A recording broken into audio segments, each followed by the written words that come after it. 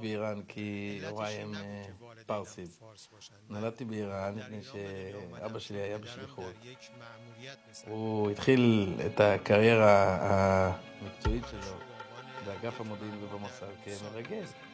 באיזשהו שלב נכונים אה, יחסים דיפלומטיים רשמיים בין אש"א, איראן, לבין מדינת ישראל.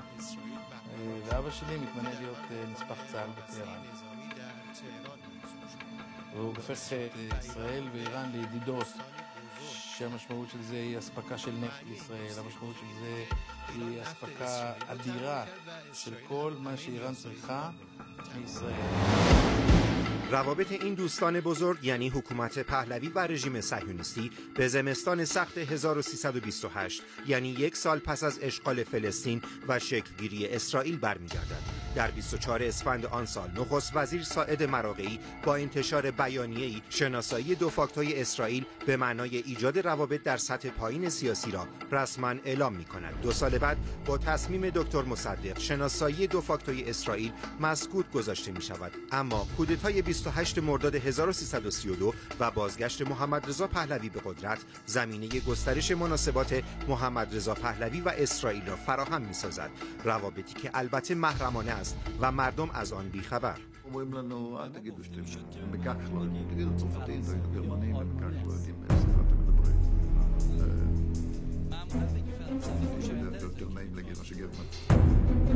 علت محرمانه بودن روابط پهلوی اسرائیل آشکارا به عقاید دینی مردم ایران باز میگردد. شاه با نوعی واقع بینی. جانبداری همیشگی ملت ایران از افراد مظلوم و طبعا نفرت آنها از صهیونیست ها را درک می کند و حاضر نیست با آشکار کردن روابط خود با اسرائیلی ها اصطلاحا تیشه به ریشه خود بزند. سپهبد عبدالله آذربرزین معاون عملیاتی و جانشین فرماندهی نیروی هوایی در دوره پهلوی. هاپ اسرائیلی می آمد در تهران میشست. برای ملاقات فلان اینا. اونم اطلاع داشتم. اونم نصیری و هم با مهمون داری بشه مهمون داری این هواپیما با کالساین نیرو هوایی شب می آمد مثلا برج صدا می‌کرد. بگو با هواپیما نیرو هوایی فلان هم شده مالا ما رو بگفت. بعدم کلش میگم موقع که میشست اصلا یه رمپی بود که از باند خارج می‌شدن میگشتن به چپ میمادن تو بانک با چیز رمپ ایرفورس بدون که برن تو ترمینال و تایرشون رو ببینن کسی تو تاریکی میمادن تو باند تو اونجا میشستن. پارک می‌کردن. درباره سفرهای محرمانه مقامات صهیونیست به تهران اسدالله علم وزیر دربار نیز خاطرات متعددی دارد. علم در شش جلد خاطرات خود بارها و بارها از سفر محرمانه موشدایان اسحاق رابین بنگوریون و دیگر مقامات رژیم صهیونیستی به تهران سخن می‌گوید.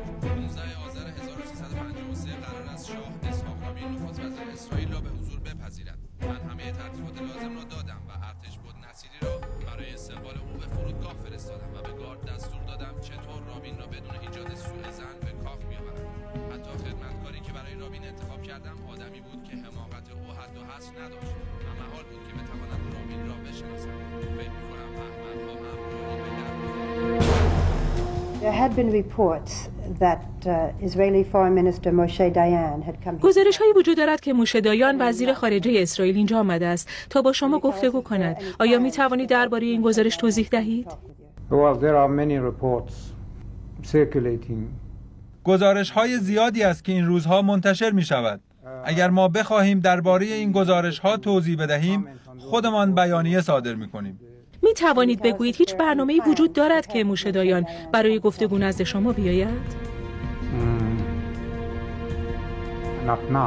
الان نه. سهیونیست ها در حمله به مناطق و اردوگوهای فلسطینی و کشتار زنان و کودکان خشونتی مافوق تصور به خرج می دهند. دیر یاسین و کفر قاسم به عنوان دو نمونه از جنایات باور نکردنی اشغالگران در تاریخ به ثبت می رسد. حکومت پهلوی برای پنهان ماندن روابط با سهیونیست ها پروتکل تشریفات اسرائیل را تغییر می دهد به گونه ای که بر اساس توافق دو جانبه سفر مقامات دربار به اسرائیل نیز کاملا محرمانه می ماند. دکتر علی نقی آلی خانی وزیر اقتصاد پهلوی رئیس اداره کل خارجی ساواک رئیس دانشگاه تهران. ما یه سفر واقعا واقعا محرمانه به اسرائیل کردیم به این که هواپیمای نظامی چون با هواپیمای رسمی نمی‌تونستیم بلنشیم بریم. با یه هواپیمای نظامی رفتیم به آبادان. و از اونجا از رو مسیر خط لوله نفت عربستان سعودی به مدیترانه که به نام تپلاین معروفه. از روی خط تقریبا رد می‌شدیم. شبانه. تا رسیدیم روی اورشلیم و یک مرتبه دیدیم چقدر اون زیر چراغ هست و الکتریسه قبل از اون تو این طرف های اردن و خبر و خلاصه در نیمه شب اونجا پیاده شدیم در اسرائیل و اونها هم فوری برداشتن. ما که اومدیم پایین. آرم هواپیما اینا رو همه رو پوشوندن با کاغذی که دیده نش و ما رو بردن به یک خونه ای که مال یکی از اشخاص ثروتمند اسرائیل بوده که خونه حالا به نسبت اسرائیل اون زمان ثروتمند ولی خونه قشنگی بود اون عجیب غریبی هم و اونا خونه رو خالی کرده بودن در اختیار ما گذاشته بودن که کسی ندونه ما کجا هست و از روز بعدش هم با تمام مسئولای با رئیس سرویس اطلاعات اسرائیل ولی وزیر بازرگانی وزیر دارایی و کارشناساشون آشنا شدیم. روابط با صهیونیست ها اگرچه مخفیانه است اما برای شاه اهمیتی راهبردی دارد. به همین علت نتایج سفر مقامات دربار به اسرائیل باید بلافاصله به اطلاع او برسد. بلافاصله شاه مطلع شده بود از این سفر یعنی فوری. نتایجش. فوری. فوری. فوری یعنی وقتی که ما برگشتیم اومدیم به ایران بازم شبانه اومدیم با آبادان صبحش هم رفتیم به تهران. بختیار از فرودگاه یک راست رفت حضور شاه. یک راست که تمام گزارش بده که بیشتر برای اونا جنبه سیاسیش و امنیتیش مهم بود שיתוף הפעולה עם ישראל היה אדיר. זאת אומרת, לא היה למעשה כמעט גנרל בכיר שם שלא ביקר בישראל או שלא ביקרנו אותו. נתחיל לפי הסדר, הרמטכ"ל מוטה ביקר שם. مخفیکاری پهلوی در روابط با سهیونیست ها تنها به دایره توده های مردم محدود نمی شود. دفاع از روابط با اسرائیل به گونه ای دشوار است که محمد رضا پهلوی ترجیح می دهد قراردادهای همکاری با دولت قاسب در مقاطعی حتی از چشم مقامات و مسئولان میانی رژیم نیز پنهان بماند. فرمودید که قرارداد ایران و اسرائیل برای تحویل نفت و تشکیل شرکت مختلط به صورتی مطرح کرد که آنهایی که تصویب کردن نفهمیدن که چه تصویب کردن. چطور چنین چیزی ممکنه؟ کاملا ممکنه برای اینکه صرفا گفتن که ما یه شرکت در سوئیس به ثبت رسوندیم برای بازاریابی و اینکه یه مقدار خودمون تو بازارهای دنیا بفروشیم اونا هم گفتن مهارت البته روابط اقتصادی و به ویژه نفتی شاه با اسرائیل بعدها به گونه ای گسترده می شود که پنهان کردن آن از دید مقامات میانی امکان پذیر نیست. وزیر اقتصاد پهلوی آن روزها را به خوبی به یاد دارد. مرحله بعد البته براشون فاش کردیم مرحله بعد کاملا براشون فاش شد که چون می‌خواستیم بریم لوله چهل اینچه بذاریم دیگه تعارف بر نمی داشت و دیگه روشن می‌شد. ولی برای اونا کاملا روشن کردیم که این مسئله محرمانه است ولی این کارا رو داریم می‌کنیم. اینم نتیجهشه اینم بیلانشه روابط نفتی پهلوی با اسرائیل بعدها بود استراتژیک پیدا می کند در واقع اسرائیل با نگرانی دائم از تسلط مصر بر کانال سوئز به دنبال راه فراری از این بنبست سیاسی اقتصادی است. دربار و تلاویو برای حل این مشکل توافقی استراتژیک امضا می کنند خیلی علاقه من بود که شما که می‌خواید نفت صادر بکنید به بازار اروپا به بازار مدیترانه و اروپا اینقدر تابع کانال سوئز نباشید. برای که توی جنگ اولی که در 56 داشتن که کانال سوئز بسته شد بعدش هم همیشه این امکان بود که بسته بشه.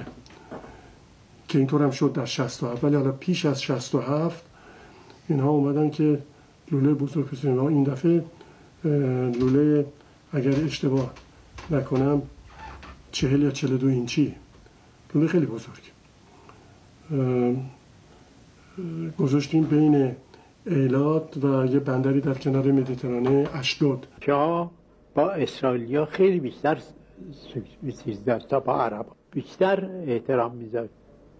نمونه داری؟ نمونه نمونه که رفتارش بود مورد ما, ما چیز اسرائیل شناختیم. بنده سالهای سال پنج سال اونجا در اسرائیل در قنصل بودم. روابط پهلوی و سهیونیست ها علاوه بر ابعاد اقتصادی و به نفتی در جوهره خود بر مبنای علاقه مشترک سیاسی امنیتی استوار است. از بود سیاسی محمد رضا پهلوی اسرائیلی ها را عاملی کنترل کننده به شمار می آورد کمک های نفتی اطلاعاتی و تسلیحاتی پهلوی به تلاویو در جنگ با عرب از این منظر معنای حقیقی و استراتژیک می آورد زمانی که جنگ 67 بین عرب ها و اسرائیلی ها انجام می‌گیره ایران کمک می‌کنه به اسرائیلی ها کمک ایران به صورت کمک های اطلاعاتی است. کمک ایران به صورت کمک های گفته میشه تا مقداری تسلیحاتی بوده. شاه اسرائیل رو تحسین می‌کرد. علت اصلیش هم این بود که اسرائیل موفقیت نظامی داشت. بعد از جنگ شش روزه وقتی که ارتش اسرائیل تونست در مدت شش روز هفت ارتش عربی رو شکست بده شاه ایران دریافت که اسرائیل برگه است که میشه روی اون شرط بست. اسرائیلی ها در مقابل کمک های شاه خدمات ویژه‌ای به وی ارائه می دهند. تلاش برای پوشاندن استبداد جاری در ایران و ترسیم چهره دموکرات از رژیم پهلوی در جهان از جمله این خدمات ویژه بود. دست نوشته های روزانه علم وزیر دربار در این زمینه نکات تعمل برانگیزی دارد. به علا حضرت عرض کردم اسرائیلی ها امروز میآیند که مذاکرات مربوط به تبلیغ برای شاه را شروع کنند. سوالات کلی ولی اساسی از ما کردند. می‌خواهیم چه نوع تصویری از خود در دنیا بگذاریم و از چه طرقی؟ کتاب جراید تلویزیون دانشگاه و غیره. به شاه عرض کردم می‌پرسند شما می‌خواهید خود را دموکراتیک معرفی کنید یا یک چیز دیگر؟ اگر اجازه بفرمایید بگوییم دموکرات. فرمودن بسیار خوب همین خوب است. لابی صهیونیست ها علاوه بر تلاش برای ترسیم چهره دموکرات و پیشرو از محمد رضا پهلوی برای گسترش روابط تهران با واشنگتن در تلاش است. وزیر اقتصاد حکومت پهلوی در سفر به آمریکا از لابی صهیونیسم کمک فراوانی می‌گیرد. تلاویو تحکیم روابط تهران واشنگتن را در چارچوب منافع خود ارزیابی می‌کند. سفر به آمریکا بختیار بود و یه نفر دیگه که اسمش نمیگم چون از طرف او اجازه ندارم. و من. که او در مورد مسائل حقوقی و غیره بتونه صحبت بکنه. من مسائل اقتصادی و بختیارم که خب کل کارا. سفر بسیار طولانی هم بوده. یک ماه طول کشید. در اونجا اسرائیلیا خیلی به ما کمک کردن. یعنی ما یه لیستی تهیه کرده بودیم که با کیا می‌خوایم تماس بگیریم در جمعه های مختلف دانشگاهی حزبی. ارز کنم حزبی سیاسی دولتی غیره. و اینها تمام اینا رو برای ما ترتیب دادن و خیلی وقتا به ما توصیه کردن فلانی یا فلانی رو ببینید و اینه که خیلی به ما کمک کردن.